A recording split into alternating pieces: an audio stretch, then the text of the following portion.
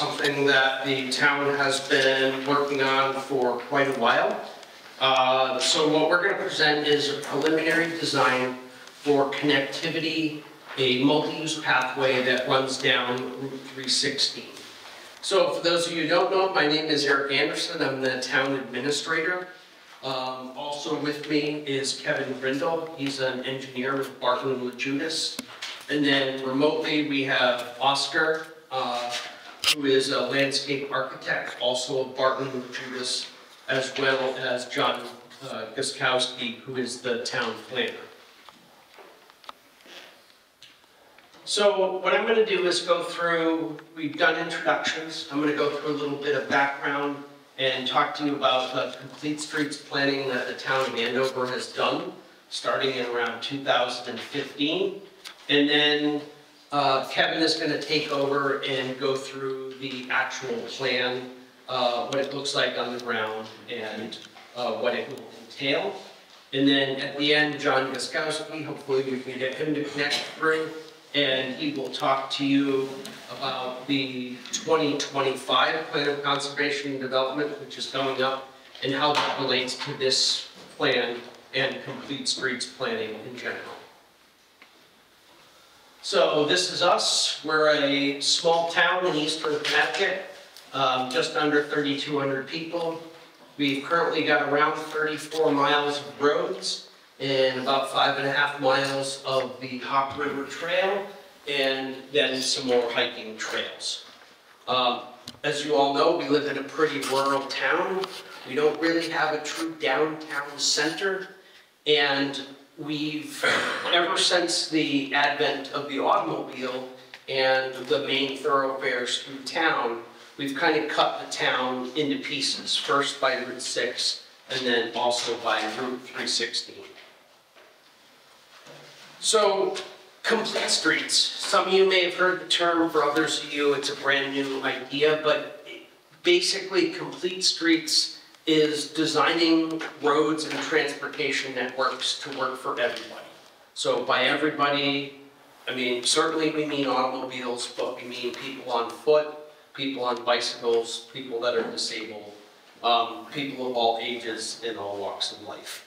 And the goal is basically to enable our road network to serve all of our residents, uh, regardless of what situation they're in.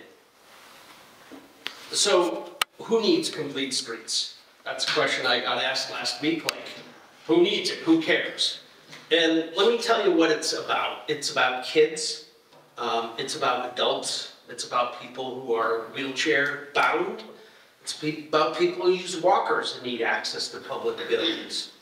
Um, what it's not about is these guys down in the corner, which is the helmet wearing lycra, lycra uh, equipped um, bicyclists, which I am one too. But this is geared towards transportation, you know, not, I mean, it, there's a leisure component to it, but the primary, you know, isn't a bunch of sweaty guys rolling down the road with their heart rates at 187. It's about getting from point A to point B and making connections within the community. So in 2015, the town completed a plan of conservation and development.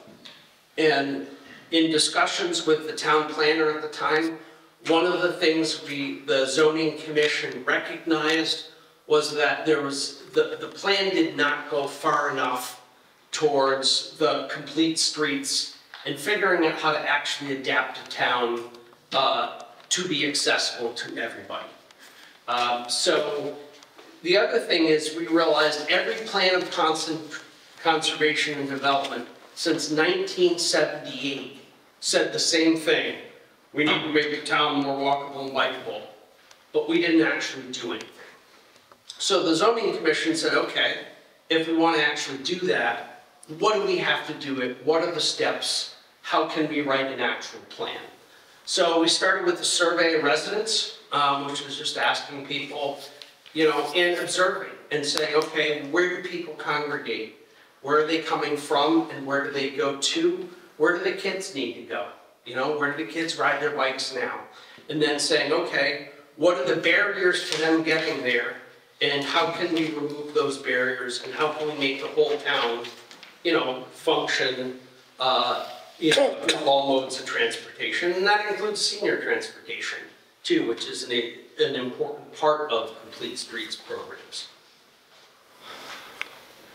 So I won't read this, but, you know, this is a nice fancy way of saying that, you know, the town of Andover started with the major mode of transportation being the train. And then sometime in the 20s and 30s, we started switching over to the automobile as the primary transportation. Um, and at the time, the whole concept in transportation was get people from where they are to where they're going as fast as they can, make them straight lines, make big highways, you know, let's, let's, let's go faster, faster, faster and push people farther and farther out into the suburbs.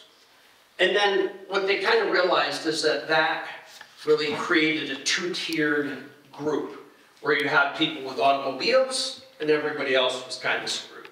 So at its core, Complete Streets is the idea of reversing that and saying, okay, the streets and the roads have to work for everybody. So we started looking at it and saying, what were the major issues that we needed to address? Um, one of the primary ones is safe pedestrian and bicycle crossing of Route 6. As you know, most of Route 6 has a 50 mile an hour speed limit. But if you look at what the uh, what's called the 85th percentile speed of that road. Most sections of Route 6 have speeds around 60 miles an hour. Um, why is that bad if you're a pedestrian or cyclist? Well, I mean, it's a pretty stark number. If you get hit at 60, you got about a 5% chance of surviving a crash with an automobile. Um, so anything you can do to get people across 6 is worthwhile. And then we also looked and said, okay, what are we trying to connect? We're trying to connect the town's two major hubs. This is one. We're kind of referring to this as the municipal campus. So the new community slash senior center, the school, the town hall, the fire department. And then we have another area, which is the athletic fields, the church, the library, the museum, that's separated. And the question is, how can we bring those together? So how can we get back and forth to them? Um, you know, we worked on a series of other things, pedestrian and bike safety in the Lake District, um, you know, secure bike racks at all public facilities, um, route finding signage, so if you're on the trail or if you are walking or biking, you can identify where you are and where you need to go. So we talked a little bit before about Route 6. That red line is Route 6. It effectively cuts the town in half into a north side and a south side. Um, that's not new. Um, I grew up in the northern half of town, and the rule in my family was before I was 12, I could ride anywhere in town, but I couldn't ride across Route 6. So I had to run on the north side of the town, um, but I couldn't get to the lake. Um, along with it, we also have the rail trail, which runs roughly parallel to that. That's the green line. So it's both a barrier, but right next to it, you have an opportunity. So some of the other things we did, talking about the Lake District, an effort to make the lake itself more walkable and bikeable through sharrows and signage and public awareness. Um, we've also, whenever we're doing tree trimming at or near pedestrian crosswalks. We've been very good about pushing the vegetation back and making sure we have appropriate sight lines. So the crosswalks that we do have are safer, both on the rail trail and elsewhere in town. And then similar to the one out front, putting bike racks in all public buildings. So if you show up at the library or show up here, you have a secure bike rack to attach or to park at. So the first major project we took on was we applied for and received a grant from the Department of Transportation called the Connectivity Grant. Um, and the idea of that was, was to do two or three things. The first was to reestablish a safe crossing of Route 6 at Long Hill, because that then allowed transit to the library and also the athletic fields and the Hop River and the Andover Congregational Church. Uh, At the same time, we established a new trailhead at Center Street. Um, We did that actually because one of the feedback we got from a fair number of people that were trail users was that they didn't feel that the existing trailhead at the museum was safe because it was too secluded and they were parking at Center Street anyway. So that was kind of an aha moment for us and we said, okay, well, that sounds like a great place for a trailhead. And so we established that with some amenities. Um, and at about the same time, we started reaching out to Department of Transportation as well as our legislators trying to address Route 316, because that was one of the other things that we saw that was a major impediment to transportation in the town. It's very narrow, speeds tend to be fairly high, lousy sight lines, not a particularly safe place to walk um, or bicycle. So we've actually been working on this again for nine years. Uh, In this year, I got a, the Connecticut State Legislature to give us a study grant to do the initial design, which we're doing with Barton and Loguidice. Um, That was my fourth uh, grant I wrote for that, but it was the first one that got funded. So these are some of the things we've done so far in terms of implementation um, at various areas. You know, we're not trying to say the same solution is gonna work everywhere in town. And a lot of the low-speed, you know, cul-de-sac, roads with cul-de-sacs and things like that really don't need anything. Because the speeds are already low enough that they're fairly safe for walking and biking. So we're really focused on the major connections in town. So looking at Route 316, there's just a couple pictures of Route 316. We just randomly uh, saw a pedestrian walking down and took a bunch of pictures.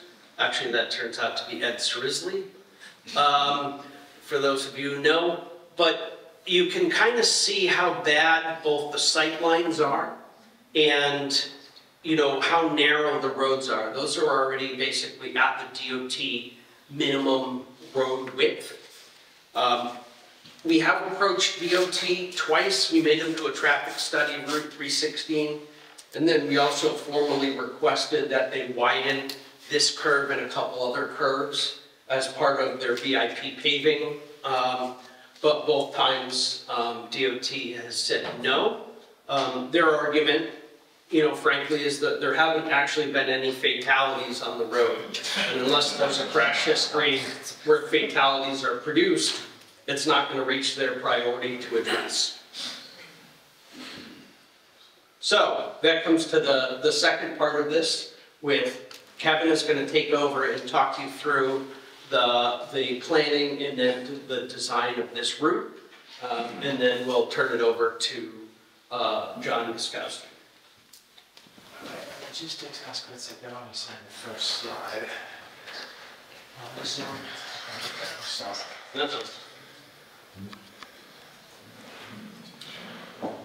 All right. Thank you all. Um, It's always nice to see a lot of faces when we spend a lot of time preparing for these public informational meetings. It's nice to, nice to see that you've all made time on a Tuesday evening to come out. Like Eric said, my name is Kevin Rendell, associate with the firm of Barton and Loguidice, uh, formerly Anchor Engineering. Uh, Firm's been in uh, in Connecticut since 1993. I've been with the firm for 23 years.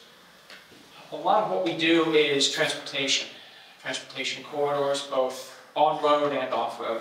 And tonight, obviously, we're discussing an off-road component of that. Sidewalks, complete streets, less, uh, less focus on the vehicle and more focus on the pedestrian.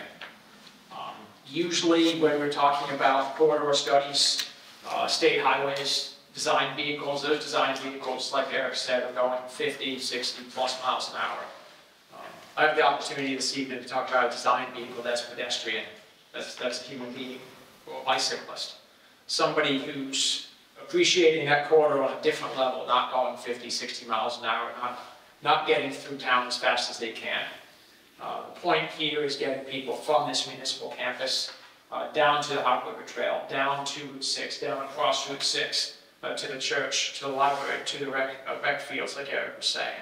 So that became, you know, our charge From day one, um, when we were hired, the point was to get pedestrians safely between those two locations. Like Eric said, working with the DOT, the DOT is very, uh, very car-centric. Uh, The past few years, that is changing, uh, and, uh, and we on the design side, design community, are, are- are welcoming those changes. But historically, the DOT has been um, very centered on the, on- on the vehicle. So getting them on board with a project like this, like Eric has said, has taken a very long time. And we're still working through those design elements. Um, Where we are in the design process, these plans here this evening, uh, this overall corridor, uh, bottom of the screen is the, uh, let me see if I've got a pointer on it that may orient better. Bottom of the screen is, yeah, if I can create that. Doesn't show the screen, not surprising. Um, Bottom of the screen is the the municipal, municipal campus where we are right now. Top of the screen is the Hop River Trail Route 6 and the connector across 6. So our charge is to get to the Hop River Trail. From Hop River Trail, we access the existing trail in parking lot, we get across Route 6, like Eric said, a successfully completed project.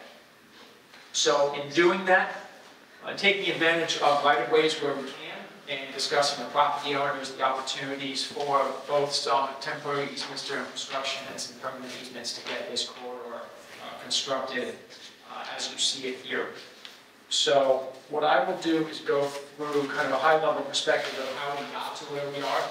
And uh, if technology allows, uh, my colleague will go through the details plan by plan uh, at a- at a fairly quick clip, understanding that there's only so much you can glean off the screen that we're looking at, uh, but just to give you an understanding of the of the level of detail that we've looked at thus far. So, again, top to bottom, what you see there in red is about half a mile, that's section along 316. Section that you see in blue is along Cider Mill, taking advantage of a low-volume local road to make that connection. Uh, Also, taking advantage of getting people off of Route 316 in a section that is particularly tough to get uh, safe pedestrian access through.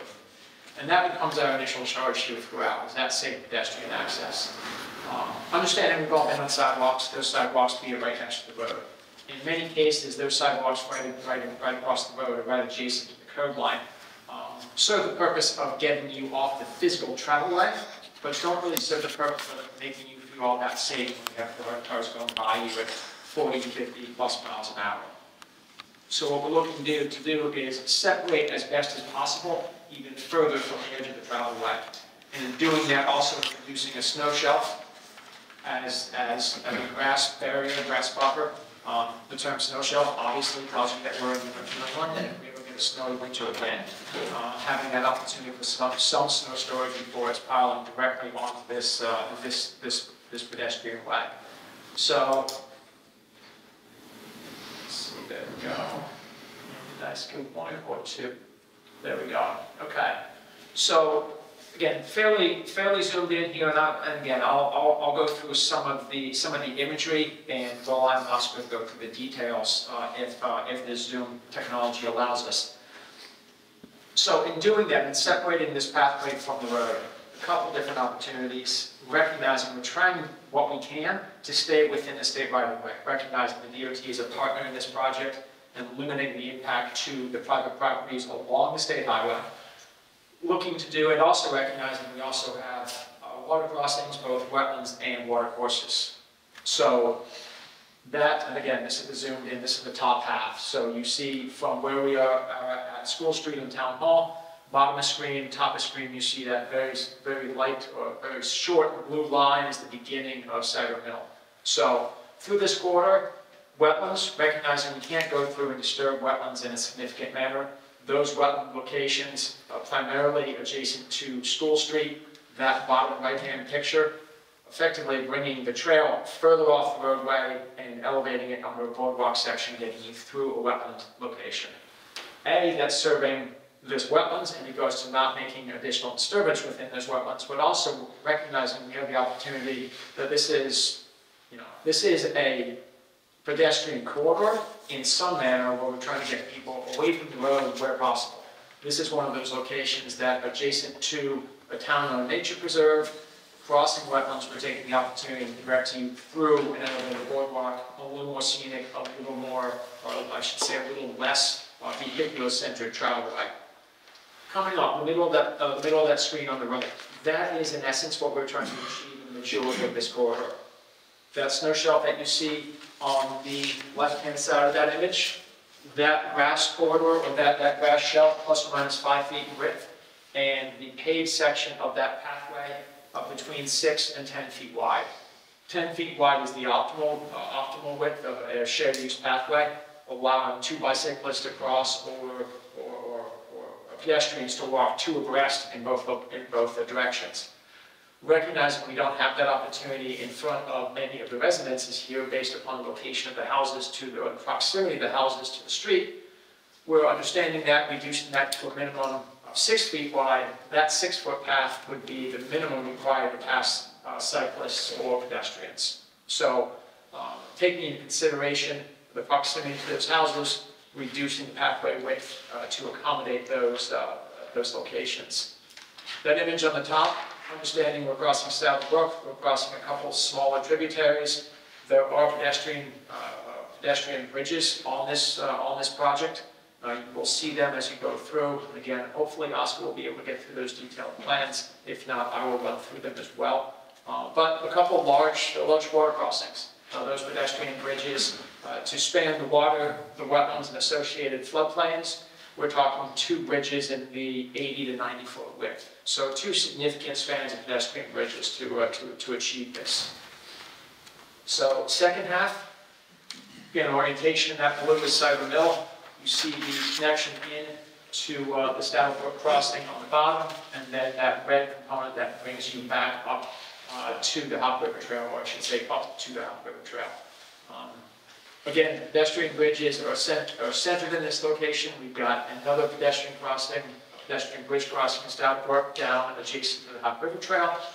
Uh, That image on the top right, that's just a screen grab of what the Hop River Trail would look like. Most people in this room have either been on it or are familiar with it. Uh, That is the connection we're trying to make. Uh, That connection uh, goes without saying, as far as pedestrian access for access for pedestrians and cyclists, I should say. Uh, Once on River Trail heads into Willimantic, connecting into the airline trail, heads out to Bolton Notch to, to the Charter Greenway. It really puts Andover literally on the map. And that point is, you know, we can, we can go through the census data for trail users um, all day long to go blue in the face, but both Eric and I, being avid cyclists, um, we really rely on those trails, both on-road and trails, um, to make those connections to and from Andover. So we really feel strongly that this connection into the Hop River Trail um, really makes the town more accessible, and through conversations with DEP as well as DOT, making these connections up to the municipal campus here uh, opens, opens a real dialogue with DEP as far as, uh, you know, access and, and access to trail users and, uh, and, and this campus specifically. So that bottom right image, um, again, that's a, that's a perspective of something that you would imagine to see on Cider Mill. Cider Mill is a very low volume local and the intention here is it would be an on-road use uh, directing residents, pedestrian, uh, cyclists to use the on-road component, take advantage of the narrow width, low traffic volumes, low traffic speeds. And, uh, you know, in conversation with Eric and with the town as far as what we can do to that, for that road and to the residents of that road, uh, to promote the, you know, safety of the residents, safety of the users of that road, and recognizing that that would be a key connection to get people off of 316 and make this connection back down to the Hop River Trail those images, those images that, you know, these are the things that we keep bouncing around in our mind when we start designing pro- projects like this. Okay, is it gonna be an on-road component? Uh, the chevrons on those top two photos, be it bikeways, bike lanes, uh, chevrons that, that, that delineate, you know, cyclists present on the roadway. Um, where needed, where possible, uh, that is something that we use uh, but also recognizing that those, we can in good faith say to cyclists and the community that we're going to promote that level of use out on 316. It doesn't mean the DOT warrants for traffic speed, for traffic volumes, and uh, the, as Eric had said, we don't have the paved width to reduce the travel lanes on 316 and provide for the required five-foot shoulders for the bike lanes on that highway. So um, those two top images all very nice to see. I'm putting, putting them up there because, just to identify the fact that we've looked at them and they really don't pertain to this project. And that's the reason we've now gone to the next phase, where it becomes the images on the remaining, uh, remaining portions of that screen by saying it really does become an off-road uh, within the right-of-way where possible, but it's an off-road component where uh, we're separating the users from the, uh, from the vehicles. So for perspective here, uh, we've come up with this slide and the next, um, just for graphical purposes. Now recognizing this is still in the preliminary design phases. And I am getting ahead of myself by just saying that the next phase here would be full-scale survey, full-scale site design, and the semi-final, and final design component through DOT, uh, through- DOT permitting. So uh, mind you, this, this and the plans that we're showing are really just conceptual in nature for, for tonight's conversation. But this, in, in order of magnitude, is what you would be looking at for this corridor. You know, the, the, the previous couple slides were just, uh, you know, images from other locations, uh, be it some of our projects and some just uh, stock images that, that we draw from. But this becomes what, what it would be landing, or, or how it would be landing through this corridor.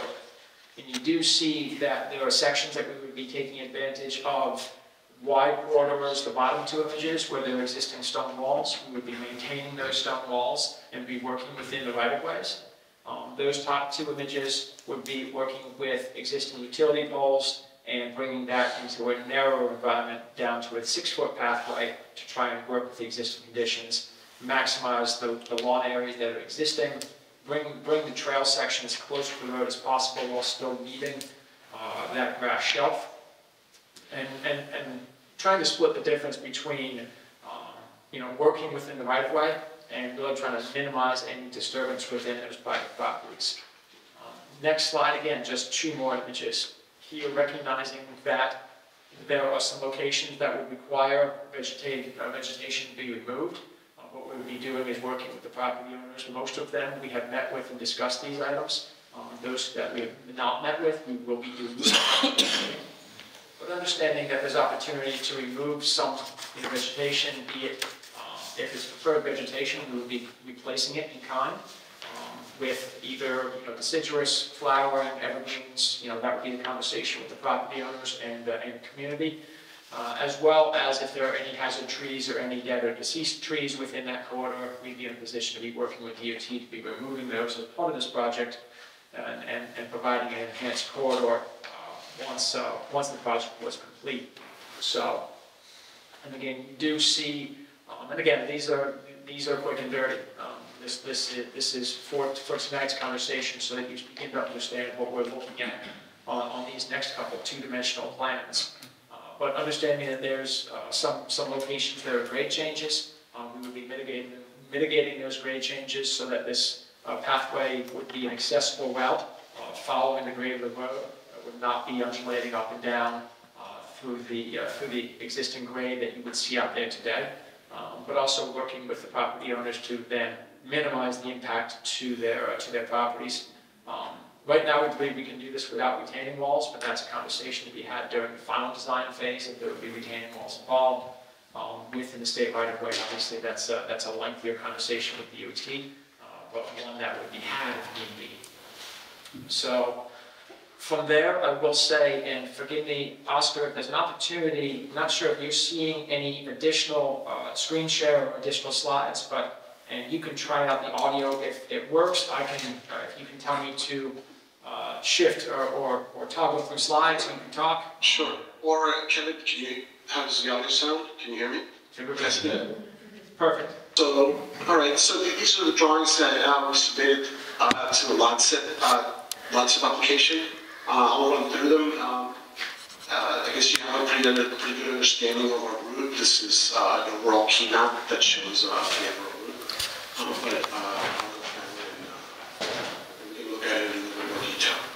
I'd just like to note that, we were able to, uh, to work on these plans using uh, state available uh, data, uh, wetlands data, aerial images, contours, property lines. We did verify the property lines along Route 316 so that we know exactly where the path falls in relationship to the property lines. What we're looking at here is uh, the south section from the fire station to Stoughbrook. We'll look at, we'll look at uh, the present little more detail further on. The lower one shows uh, the northern section connected to the Andover Bridge. This is a starting point at the fire station and uh, the connection to Hebron Road at the bottom that Kevin mentioned that we have environmental constraints. uh, One being uh, some existing drainage, uh, drainage areas and a wetland area. We, uh, we decided to implement a uh, raised boardwalk over the wetland, as Kevin said, uh, in order to maintain all the other drainage patterns as in, the way they are now. As we move forward, as we, as we move north on the trail, we, we come across other constraints, grading being one of them. We do have a couple of holes that, that will, that will require grading, but we'll, uh, we'll review that. This is a close-up of boardwalk, so you can see the, uh, the existing drainage swell, the wetland, and there's also a culvert extension. A couple of culvert extensions will be required for us to be able to place the, the, the trail, uh, closer to the road.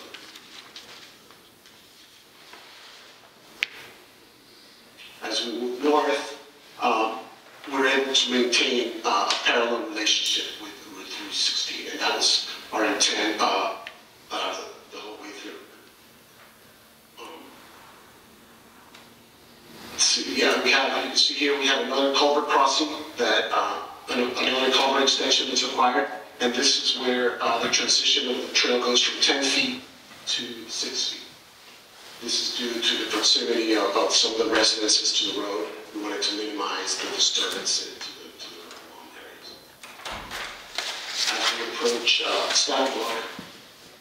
we are, we're able to maintain that five-foot relationship with uh, Hebron Road, and then eventually, uh, cross the pedestrian bridge to reach the second portion of the trail.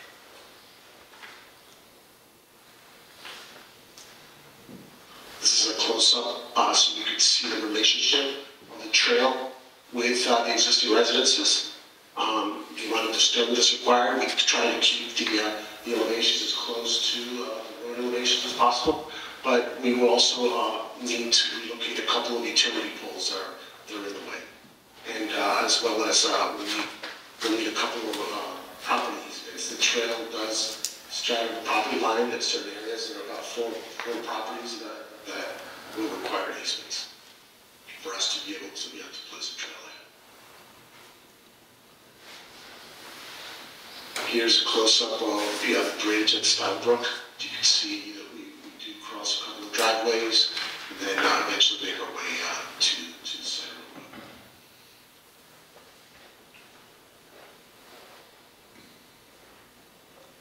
the road. Yeah, we connect with the northern, uh, the last section of the trail at the cemetery, Cider Mill, uh, Mill and the Hebron Road cemetery. Uh, and in this, this location, the main constraint was a great differential that we had to contend with. The existing properties sit approximately three to four feet lower than the road, so a retaining wall will be required to raise the trail to the road elevation. So you see here, we, we're, you know, we're proposing a retaining wall that will be approximately three feet high um, as well as uh, uh, some drainage improvements. In this case, uh, uh, we propose a couple of inlets, inlets, drainage inlets that will capture the water, the runoff water from the road and daylight it through the wall into an existing, an existing swell that we are preserving. Uh, So the- the the retaining walls also help us preserve that existing drainage pattern. there, uh, after crossing with another pedestrian bridge, we reach the last section of the trail that requires a little bit more uh, earth moving in order to uh, accommodate a gentle transition up to the trail.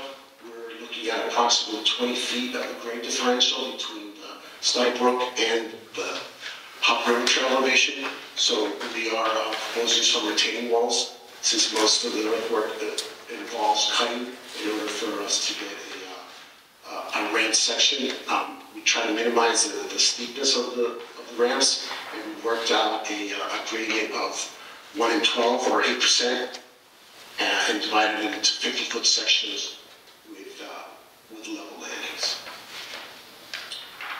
So hopefully, yeah, that'll give you an overview of, uh, of, of what we're proposing, and then, um, Mr. John can take over from here.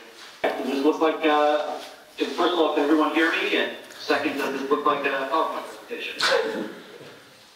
Yes and yes. Okay, great. Um, so again, uh, folks, I'm sorry I couldn't be there with you in person. Um, for folks I haven't met yet, my name is John Viskowski.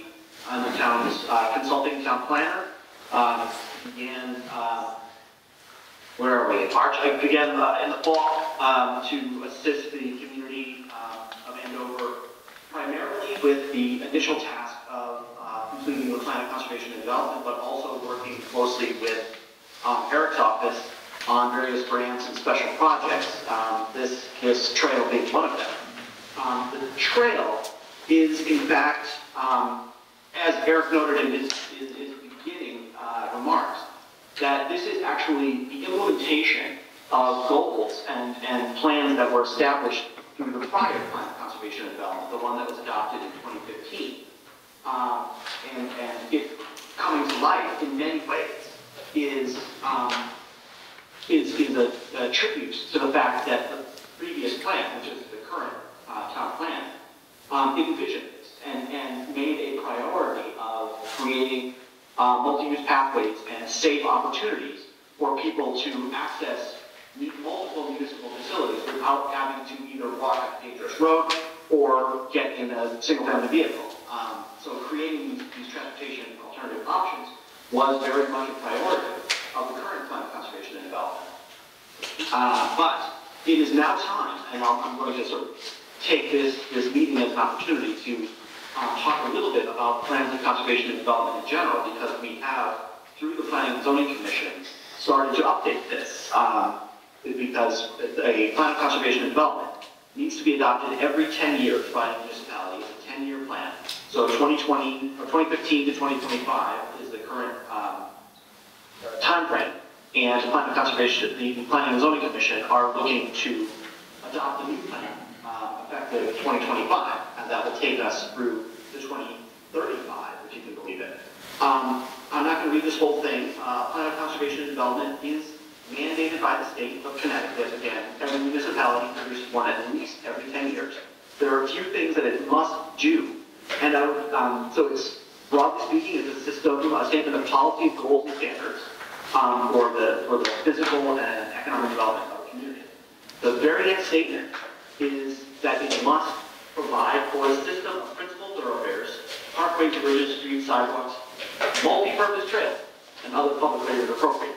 And so in, in, in very specific uh, terms, we saw how the 2020, 2015 Plan of Conservation and Development is now being realized because we have identified the importance of multi-use trails that allow for circulation in town, safe travel through town, um, and, and we're carrying this forward. Again, it takes a look at things like coordinated development, the general welfare of the community, desirable use of land, should a piece of land be developed, should it be pres- preserved or protected, desirable residential densities of the town, and inconsistencies um, with state growth management principles, which can generally be thought of as smart growth principles, which is redevelopment and uh, development and revitalization of commercial centers, um, is more appropriate than extending infrastructure to areas that aren't previously developed, broader housing opportunities, building along major transportation corridors and nodes, conservation of critical resources, um, and protection of the environment. Um, a couple other things that the plan must consider is development of housing opportunities. Um, and, and the town uh, recently adopted, or you know, a little over a year ago, adopted um, its uh, first affordable housing plan, um, which also included a provision for multi-family housing uh, in terms of a, a conceptual um, goal setting. Uh, promoting housing choice and economic diversity in housing, consider the needs of older adults and people with disabilities, and certainly we, we saw um, in some of our demographic analysis in, in Andover that Andover is an aging population, and uh, the needs of seniors and um, will become increasingly important over the next decade. Um, so those are things that, that, that a plan of conservation development must address. There are a few optional things such as conservation of, uh, of trap rocks and ridges, consideration of airports, parks, playgrounds, public uh, amenities, schools, public buildings, public utilities, any public housing, um, and then as well as identifying specific actions, potential budget implications, how will we go about uh, implementing these things. And as I said, we are in the process, we're in the early stages of developing the vision um, and the the priorities for the next 10 years. Um, And we have not yet, if you were not aware, um, the Planning and Building Commission is undertaking a survey of uh, Andover residents, Andover employees. Um, And uh, it's it's available both online. um, I don't know, you can take up your phones and start to scan the screen right now. um, Or you could take note of uh, the website, um, which is surveymonkey.com slash R slash Andover POCD, POCD meaning Plan of Conservation Development. We've had, uh, so the survey's been up for about three weeks or so. Um, We've had just around 180 um, responses so far. This ad um, is going to be posted in the uh, Rivereast over the next couple of weeks, and hopefully we will generate a little bit more interest. But um, the survey, again, attempts to gauge some public interest in several different areas and forces some choices and forces thoughts about what our priorities are. This is a, a, a screenshot from the survey itself, um, looking at questions of community resilience and state sustainability. It identifies seven potential priorities and asks you, uh, as a survey respondent, to rank them. So is alternative energy something that the town should be um, investing in or focusing on? Or upgraded power and data infrastructure? Or making sure that town roads are safer to uh, bicycles and pedestrians, like this project is proposing? Community gardens, um, creating infrastructure for recreational resources, or upgrading roads and bridges, and that sort of thing. So it creates a ranking, and through public uh, participation in the survey, we'll get a sense of what people believe are important and where we should be targeting um, community resources. Similarly, um, we look at issues of conservation, and so we identify um, you know, seven categories of uh, the conservation and recreation investments, such as Andover Lake, looking at trails, stewardship of existing open spaces, um, active, you know, habitat playing fields, passive open space such as forests, um, or looking at Hop River Trail System. So again, wanting to gauge where people's priorities lie. Um, I would note two things. Number one, this is a very important um, piece of community input and a really great opportunity for the community to have their voice heard in the process. The other thing I would note is that this is not, the survey is not a binding referendum. Um, it's an absolutely critical element of um, input for the plan, for the Planning and Zoning Commission, who are ultimately going to be drafting the plan. But there are other very important considerations, um, input from key stakeholders. So, you know, input from the Board of Education on, on the school resources, input from the Economic Development Commission on, on growth and, and encouraging development, the Conservation Commission on open spaces and parks, um, as well as fiscal reality. You know, we could say, you know, we could hear from the public that 100% of people want, you know, um, a, an Amazon global headquarters, you know, located on six, but, you know, um, economically, market-wise, that's not going to happen. So, um, the, the most popular answer isn't always the right answer, but that's the charge of the Plan of Conservation and Development, um, and the charge of the Planning and Zoning Commission in this process. So we very strongly encourage you to participate if you have not yet in the survey. Um, and so the process is basically, the Planning and Zoning Commission is going to develop uh, a process of community vision. The, the survey being one uh, element, talking through stakeholder groups, uh, doing, doing demographic investigation, um, and understanding where we fit in terms of market and, and aging and all of those things. Um, create a vision for the community where we want to see Andover over the next 10 years. And then we'll establish a series of goals, um, whether it's preserve more open space, invest in you know, roads and bridges, uh, and then each of those goals will have a specific set of actions, whether that's changing zoning regulations, providing some tax incentives, um, you know, setting aside funds for open space acquisition, um, providing more services to seniors, whatever those, those actions are. Um, and then we create a plan. Um, and then that plan is used in a couple of different ways over the next 10 years once it's adopted. Um, first, it's used in directing municipal investments. Again, um, as we've seen this evening, uh, the Plan of Conservation and Development goals from 2015 identifying the importance of multi-use trails and state vehicle, uh, you know, bicycle and pedestrian passage from, you know, Route 6 and the Hop River Trail um, to the, the, the community campus um, was an important goal, and that has directed the municipal investment and has directed in many ways the state investment because it is a local priority. We put those things in grants, and the state has provided funding for, for these opportunities. And then the other place that it um, is seen is in regulations and map changes. So if, if, you know, the community goals are to provide more housing opportunities and to make it easier to develop uh, accessory apartments or multifamily housing in certain areas of town, that requires a regulation change. The Zoning regulations will have to change, um, and, and those changes should be guided by the vision of the plan of conservation and development. Um, so again, we are, we are, uh, this is, this is a very important plan, having, um, a large amount of community input and participation at the planning and zoning commission meeting, um, which is the third Tuesday of the month at seven o'clock. Um, public participation is, is, public attendance is welcome and participation. Um, we're still in the very early stages of this, and we'll be writing, um, plans for the next year, and certainly hope that people get engaged, because a plan that gets written today will get implemented over the next ten years, and creating more projects like we discussed, uh, this evening. So, that's, that's my bit, uh, that's my and I thank you, uh, for your time. You know, we're certainly willing to sit down with anybody that wants to look at the plans in depth. Um, the plan set is online on the town's website. And so really, we're just looking for feedback from the community at this point. So I'll open it up to the floor. Sure. Minor question is, uh, it looks like the, the, the new trail would meet existing Hop River Trail on the town hall side of the bridge. That is correct. So the reason that was done is when the uh, covered bridge was put in, on one side of the road, you have essentially large-scale three-phase power, and on the other side of the road, you have a major fiber optic bundle and communication wires.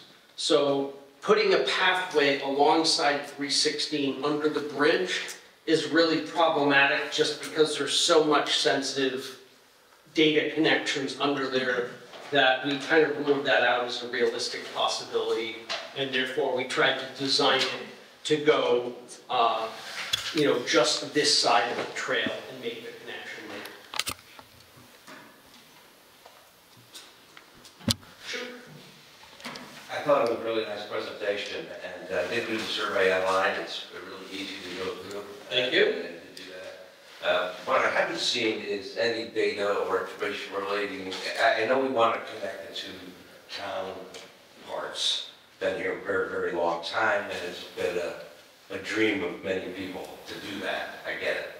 But uh, has anyone ever looked at how the volume of, of interest of going down, up and down 316 to go visit the museum or go to the fields? Um, You know, I lived there for a long time, 27 years. Sure. And, uh, Never had a trick or treat. So that got to start investing in candy now, pretty much with the trail, that may be handy, I'm not sure. Uh, The question I have is, is, you know, is it a build it and they will use it kind of a thing? So that's a really good point, and, and that's something that's debated commonly in kind of transportation nerdy circles. And so the, the data in areas that have put in standalone bike ped infrastructure have led to really significant increases in traffic through it. Are we gonna get a thousand people walking up 316 every day? No but we're gonna get a lot more than we are now. So, do I have exact numbers? Nope. I don't think there's any way to generate it, because right now, 316, it's like saying how many people would walk down I-84? The answer is nobody, um, unless they're nuts. Uh, So, yeah, that would be my answer to that. If I could, uh, I live down there, uh, between the cemetery and the trail. I've been working from home as much as I can, and over the last couple of years, uh, especially in the summertime, I will see easily, these are just people that I see, a dozen, 20 people a day, which crossing my driveway there, cemetery down towards the road. Where they're going to and from, I haven't a clue. Uh, There are definitely a lot of bicyclists on the weekend who are going down and then the trail. Um, And I know since we're coming up on Memorial Day, especially that last half, uh, quarter mile or so, gets a lot of pedestrians for the uh, parade. So some of it, I definitely agree, is a, how much, but there's also room for expansion because it will be safer for people to do so. And I think that's a strong, you know, strong conversation to be had to the parallel on the multi-use pathways through the state. The, you know, UConn Trail Census data. Um, Those trail census data stations throughout the state, you can see spikes when the gaps in trails are closed. So that as, you know, I'm thinking about the airline trail, where as gaps in the airline trail get closed, you've got people who could now go from East Hampton to Colchester, or from Colchester to Willimantic. As those gaps close, you see the trail census spike in, in, in, in users. Um, and something like this, um, Eric's right, we don't know how many people will be using this. And that, and that's tough to extrapolate out, because it is not someplace that is friendly to be currently. And what we're trying to do is make it a safe space, and once we make it a safe space, recognizing the build it, you will, you build it and they'll come, you know, that, that's an overused reference on our behalf, kind of saying, trust us, it'll work. But there is that component that says, um, you know, the, again, the, the, the user group that we want to be taking advantage of this, frankly, right now, if they need to go to the trail at school, they're gonna drive. So what we're trying to do is get people out of their cars and onto these trails, and in doing that, that's a very difficult model for us to extrapolate out during this phase. Sure. Hey, Eric, um, as you know, I've been asking you a couple of questions about this and very interested, so I wanted to make sure that I made it tonight.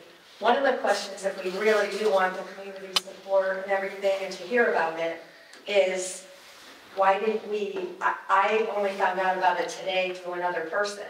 I listened to the Board of Selectmen, this isn't confrontational. Sure. Because clearly I'm here to understand and want to learn, um, as a member of one of the boards in town. But why didn't we talk about it last night at the Board of Selectmen meeting? Why didn't we use our informational system that we have in the town to blast it out? You know, I just think it's important because I truly, you know, take the town's input and the community members' input about a project like this. I'm glad to hear that it could be financed through grants, as you know. Um, I'm one of the people that knows we already have a lot of existing trails in town, know that we live in such a small community, and I really want to commend our planner too, because every meeting I go to that he is here, and, and yourself, um, sir, too, um, really makes it very understandable, you know, to what we're trying to do. But again, I really think it would have been great for the town to hear about it a little more, um, because that's my angle, is I want to hear what the people say about it. 316 always scared me, I know we've had, you know, clearly this is walkable. I'm worried about the people whose property is gonna be changed, so I don't know if they're sitting in this audience, I wanted to hear their feedback. Um, yeah, I mean, it's nice in concept, I'm a walker, so I love to walk. But I also go visit people who live in walkable towns where there's little bistros or, you know, coffee shops and that kind of thing. And I wonder too, are we all gonna walk to the church? Are we gonna walk to the, you know, I don't see a big need for that in a small town, but I'm, I'm listening and it's a beautiful concept, so that's all. I, I like the information to get out to the people when we're gonna have a meeting like this. Sure. Mercy? Uh, I can think of several instances where I would have used it. Um, Lots of times, wanted to go around the area and uh, just riding my bike or walking And, uh, it's always, well, we gotta take three sixteen, you know, maybe we'll do some shorts. You know, sometimes we would do a short trip from the school road to Lake Road. But even then, you know, we're always like, you know, trying to make sure we're going fast and being careful. Uh, But anyway, and also I, I agree with, um, that, I'm surprised that we didn't hear about this. I found this on a Facebook page, a Columbia Facebook page, so. Sure. Sure. Jim? Um, my experience has been walking on three sixteen is is terrifying. I would welcome that opportunity. I've done it many times and regret it every time. Um, I have a question though, is, there is another, is the concept also allow for a loop then? Someday. Okay, th- could you, could you clarify that that piece of the puzzle is? Sure, so when, when we set out to do this, we gave the engineer essentially a, a clean slate and said, our goal is to connect the town hall to the rail trail. Um, and our focus is transportation. Um, that's our objective. So they came back to us initially with two possible routes. One, utilizing strictly town property, um, and going straight back there. But there's a lot of constraints with that. And then the second one was going down Route 316 um, and, and connecting where the, where the trail is now. So the, the first thing we realized is that both of those potential pathways have different funding mechanisms.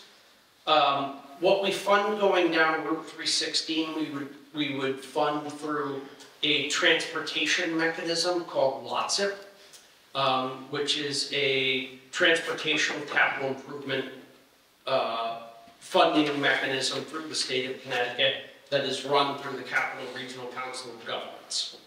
Um, It funds general transportation projects. The, the problem is for the town of Andover is that it's, it's geared towards roads that are classified as major collectors and above and we frankly don't have any. We've got about three eighths of a mile East Street meets that classification. So the biggest funding mechanism for transportation money in the state of Connecticut, we're locked out of for anything other than a multi-use pathway project, which is why we're, we're going for that funding for this, frankly, because, you know, it's the one peg we fit into. Um, At the same time, we are trying for a design grant through the Department, uh, DEP's Rec Trails program to design a route for a pathway that goes down through here. Now, personally, I don't think it's likely to get funded. Um, My last three Rec Trails grant submissions that I put have all been shot down. Um, this one, we're, we're farther along in the planning stage. We have a more definitive plan, and we've narrowed down our route selection, but that's an incredibly competitive grant. So while, while we are in the back of our heads planning both loops, I think 316 is doable. I think the trail through the back, through the woods, is probably not doable in the short term. But by proposing that, it makes our 316 grant look better because CRCOG uh, prefers multi-use pathways that end up in loops. So we're proposing essentially a phase two um, going down there, which would make about a 2.3 mile loop trail uh, through the woods. So that's why we did that. Mr. Penn? Um, I think it's a great concept. I, um, actually, actually, to it creates like a five mile running walking path around the lake. There used to be a road race back in the uh, nineties. That was a race around the lake. That was a five mile running. It basically follows that, that same path. So runners and walkers, especially, and cyclists also, it's a neat five mile path. I think comments earlier about, uh, you know, if you build it, will they come? I, I, I think they will, like the rail trail, I live right next to the rail trail, so I, I see behavioral use of the rail trail all the time working in my yard. And when that, end- when the end river covered bridge went in, that gap, closing that gap there, oh my God, the use of the rail trail just went, went, went up like by a factor of ten. And just like with COVID happened, the use of the rail trail went up by like a factor of two or three. I'm seeing a lot more families out there and stuff, so I think it's one of those things that people will, will take that, will, you know, with that opportunity given to them, will, will make use of it. It's just my understanding from observations. Thank you. Yeah, and the other thing to keep in mind is that, you know, these planning events are for the long term. Um, in about 1970, Holland, you know, as a country, started to plan to make the whole country more walkable and bikeable. And when they did it in 1970, the accident statistics in Holland for cyclists and walkers in the United States and Holland were about identical. It was about the same level of risk being a pedestrian in the US as it was in Holland. Now, 50 years later, you know, for every mile walked, you're 11 times more likely to be killed in the United States than Holland. Because they took a systematic approach to converting the whole country to that. And now that's had a great effect on their GDP, just because their number of miles traveled in their car has been reduced a lot. Because people think of the, of bicycling and walking as a normal mode of transportation. And if you travel throughout Germany, you'll see the same thing. If you travel to most European cities, you go through Budapest, same thing, totally walkable, bikeable communities where a significant fraction, if not the majority of the population, uses mass transit and bicycling uh, to get around. So it is possible, plenty of other places have done it. Um, Do I think five years from now, 90% of Andover residents are going to be running around on e-bikes and selling their cars on Craigslist? No. Um, But it's a start. And, and I think also that we're not talking about putting sidewalks down every road in town. It's not really appropriate. What we're talking about is closing the biggest gaps and solving the biggest transportation issues in town, not going after every little problem. Um, and 316 is definitely one of the bigger problems we have in town. Sir? e-bikes. What's the feeling about e-bikes on these rail trails? Uh, Class 1 and Class 2 e-bikes are allowed on rail trails. Um, So for those of you who uh, don't know, a Class 1 e-bike is pedal motor assist up to 20 miles an hour, but you have to pedal. A Class 2 means you've got a little throttle, so you don't even need to pedal, but it will only go up to 20 miles an hour. And a Class 3 e-bike uh, in the US is up to 28 miles an hour. So the state DEP for the Hop River Trail and their rail trails has allowed class one and class two e-bikes.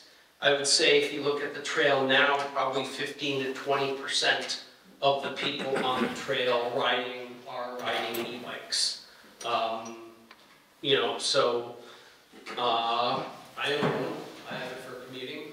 Um, you know, it's, it's not what I ride when I'm riding for exercise, but if I'm riding for transportation and I want to run down to Dollar General uh, and get a couple boxes of Yolos, it's a great To answer that question. And there are some growing pains with that.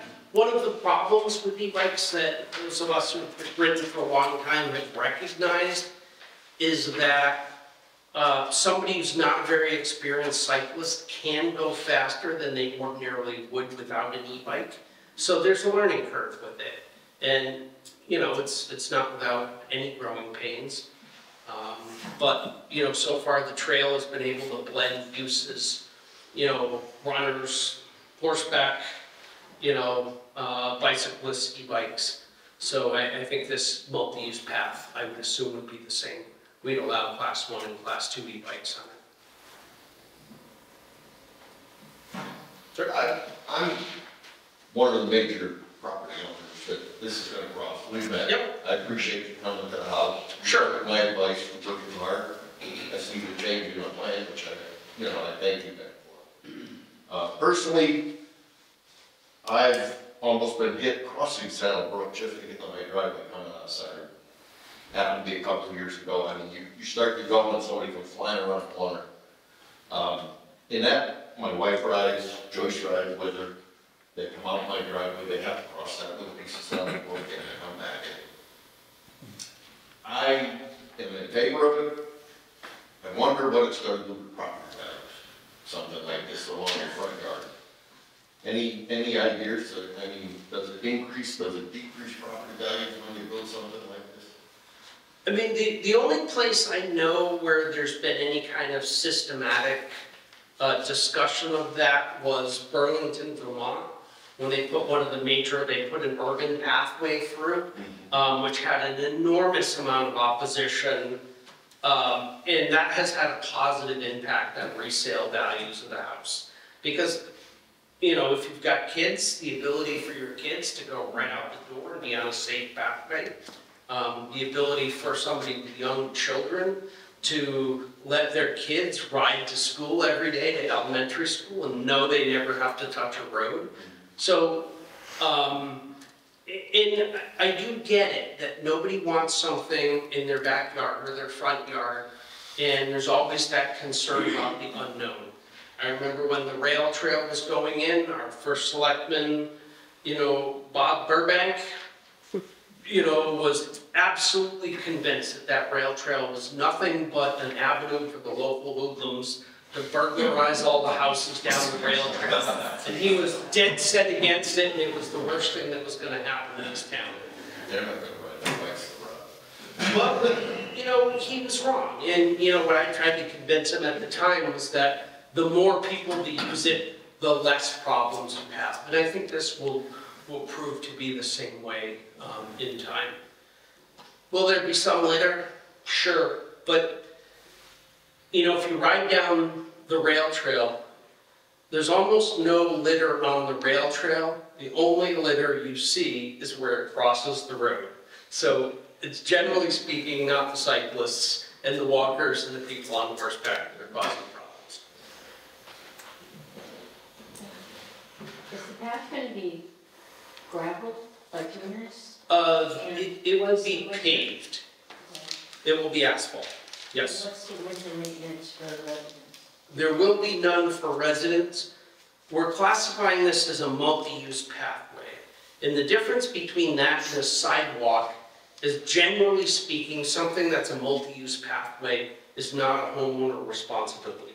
So if you own property there, we're not expecting you to go out and shovel it every storm. That's the town's responsibility, not yours.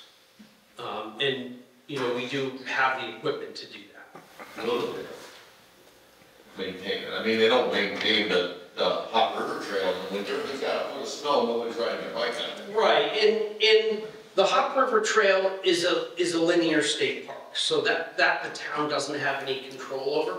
And that's part of the reason why we haven't plowed, um, where we've gone back and done the asphalt path to the rail trail at Long Hill, because my feeling is, what's the sense of plowing something to an unplowed rail trail? So, um, but this, the, the three sixteen, probably we would elect to plow that in the winter. Um, we have a little Steiner tractor that, that has a blade appropriate for that. I mean, part of the problem is some of the sections of the trail are only six feet wide, because where we go in front of people's houses, we're trying to minimize the visual disturbance. Um, so we can't follow a pickup truck, it's just too wide, but we do have a little tractor specifically for that. I have questions. Sure. It sounds kind of dumb, but that e-bike thing. I've been on the rail trail, some people go really fast. So I'm thinking of my driveway being in my vehicle and trying to get out on the three sixteen. And I'm just trying to visualize, you know, it's like I'm coming down, I've got this thing, I've got to stop there, kind of look, make sure there's no bikes or people. Then I can kind of like sit on top of it, I believe, before I can pull out to go. Sure, And now I'm there and I'm waiting for the traffic and somebody comes zipping down on that e-bike, is there gonna be enough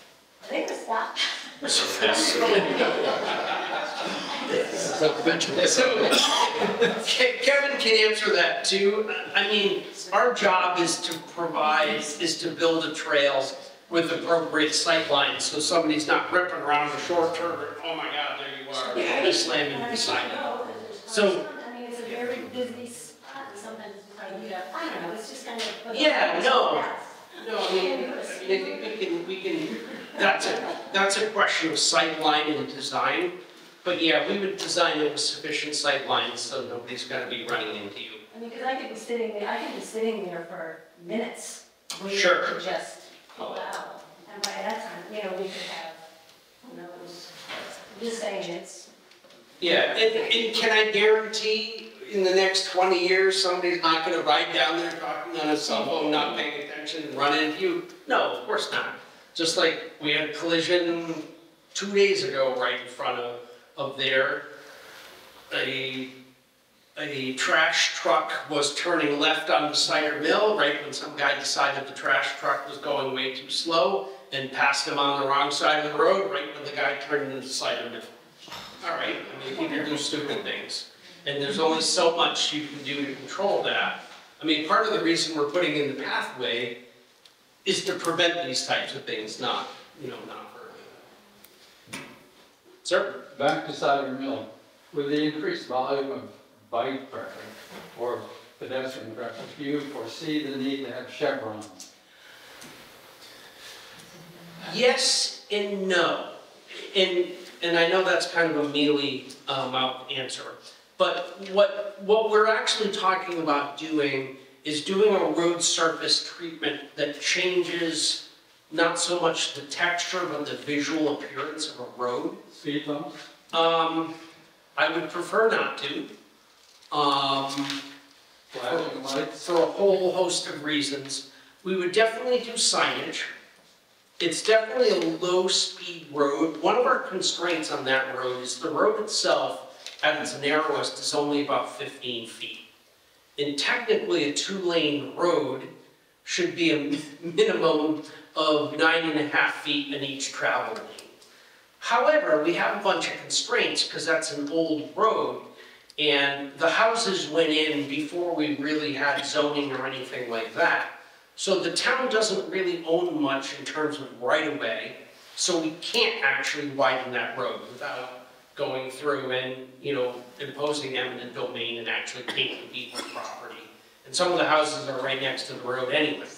So for practical purposes, we're gonna keep it a narrow, low-speed road and do everything we can to indicate to people that this is what we would term a bicycle boulevard.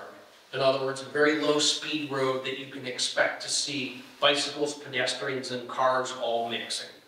Um, It does work. Um, It's not perfect. Would I love to have a separate path through there? Sure, but there's no practical way to do it. Back to Cider Mill. Uh, In terms of interest and signage, there's a lot of history. Is there any way to develop some of that? Is that part of the plan, part of the concept, or has that not been? It's something we've certainly talked to Scott Yeomans about, um, and certainly he's set me straight on some of my preconceived notions about some of the businesses that were on, uh, Cider Mill. Mills. So, Mills, yeah, there were four, I think, along that route. Um, so, yeah, I do think we want to do similar to what we did at Center Street, is to start putting that public interest history up. That's been one of the things I've wanted to do for a while, is that we have an awesome museum with a lot of history within the museum, but nobody goes to the museum. And then we have a rail trail with lots of people on it.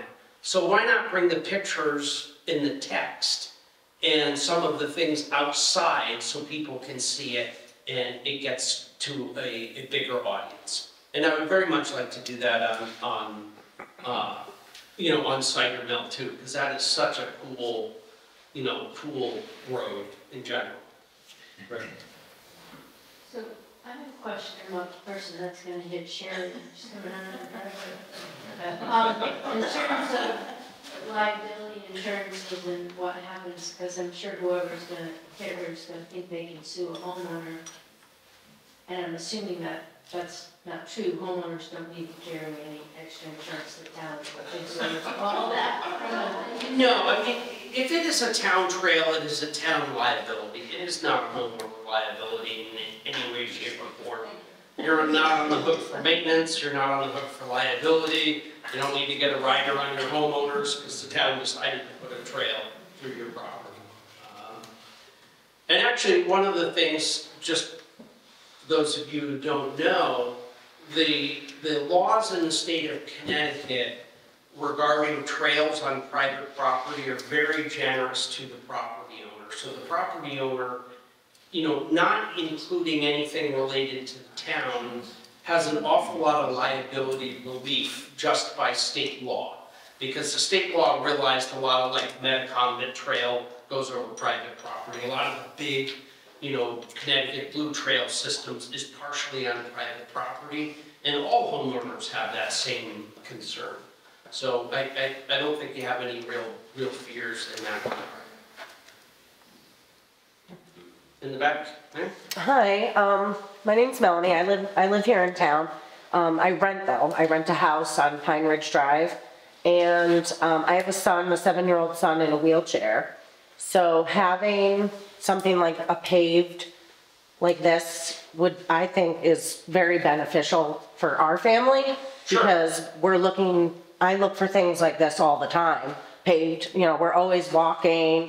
I mean, we walk down Hendee, which I don't really like, but, because people fly down the hill. Um, but we do, we walk to the museum a lot. And that's what we got in the paper that time when we saw you lighting the Christmas tree. We just, Yep. we happened to be walking and, and yeah, we like to walk that area, but it's tough in the muddy season, the winter, because it's just a big mud pit and I can't push his chair through that. Um, so being able to access a paved path and be able to go to, back to the school and access the playgrounds, or even, I think there might be one going uh, down in Long Hill.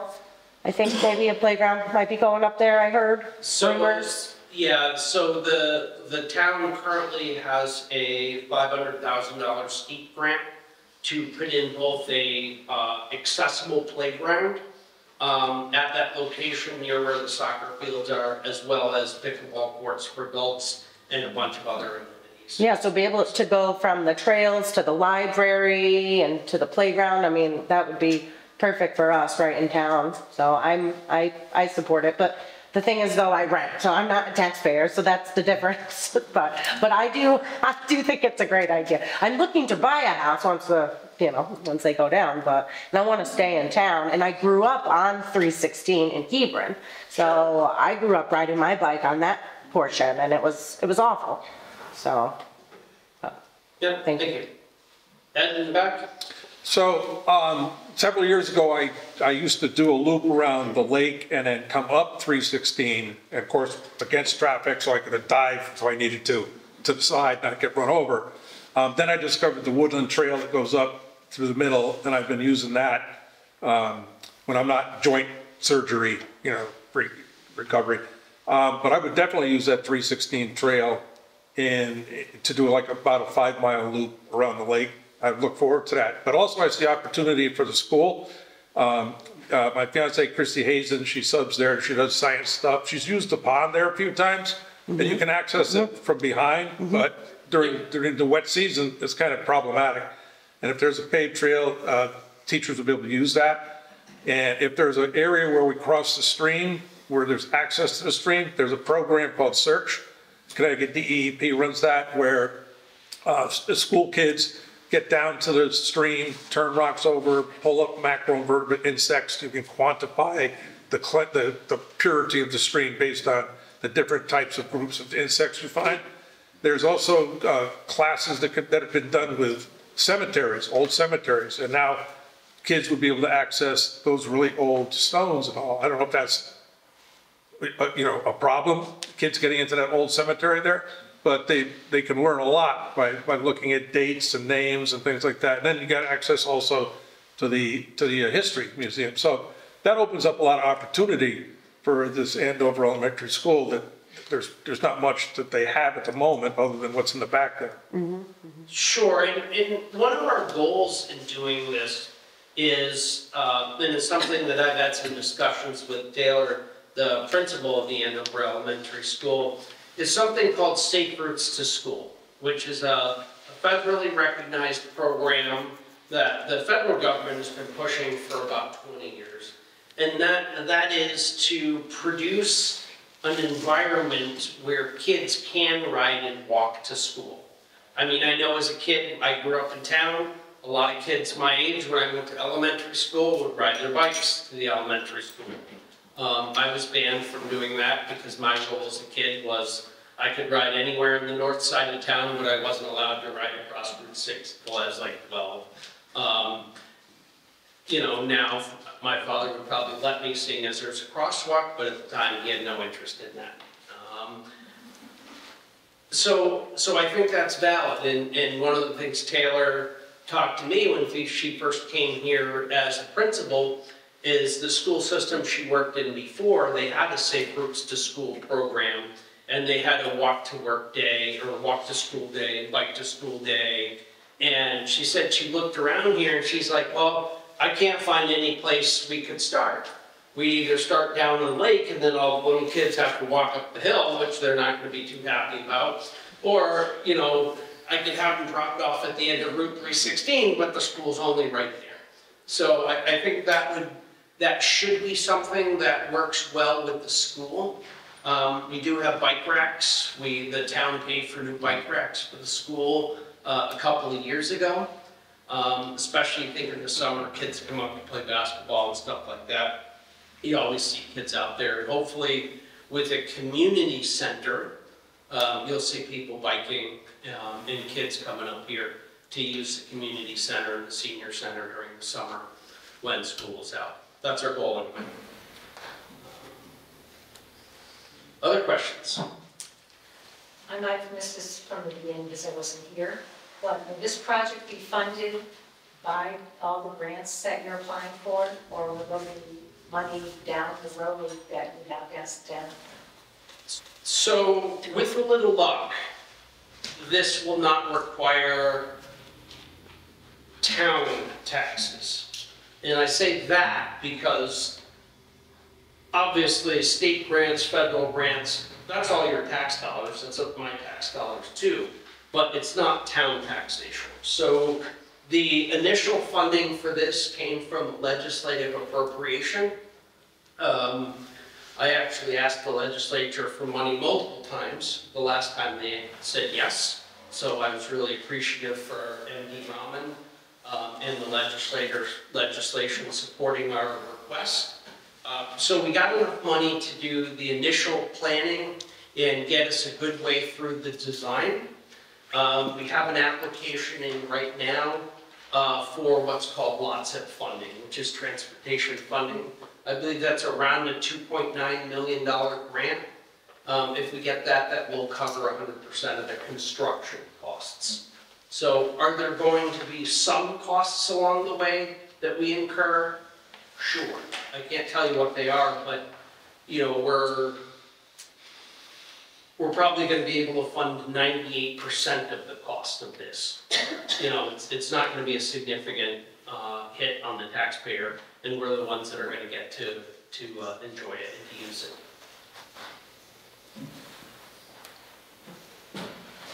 Is this coming right for an America, what, what do you envision that, uh, coming before the town? Does it have to go before the town?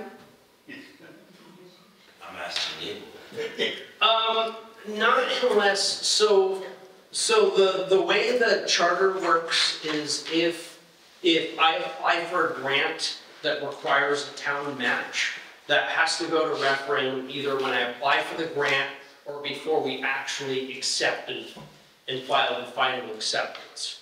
So right now, we're not asking for any town money.